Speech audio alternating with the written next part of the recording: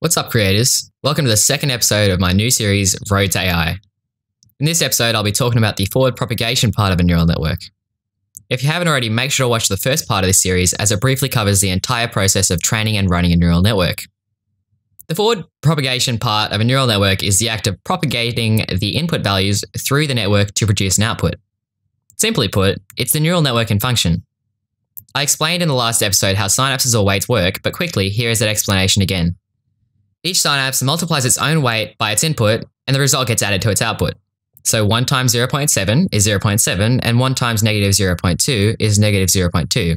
So when you add 0.7 and negative 0.2, you get 0.5.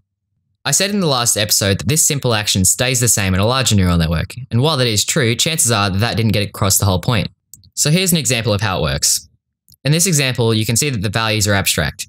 You get your inputs, you multiply them by the weights, and then you add those two values together to get your output. So 8 times 0.4 is 3.2, 3 times 1.8 is 5.4, and when you add those together, you get 8.6, and that's the first neuron. So then you just repeat that with all the other uh, neurons, and that's the first hidden layer. So where to go from here? You just disable the first input layer, and that first hidden layer becomes the input layer. Technically, when you're applying this, you don't really just disable the input layer, it stays the same, but for explanation purposes, this makes more sense. So after that, you just calculate the second hidden layer, and of course, remove the first hidden layer. And now you're down to the last step, which is where you multiply the weights again and get the output. So that's the entire process.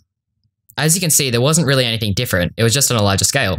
I hope at this point you can understand the process of forward propagation.